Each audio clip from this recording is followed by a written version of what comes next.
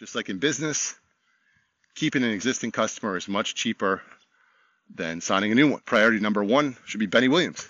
Make sure that kid is happy and is coming back.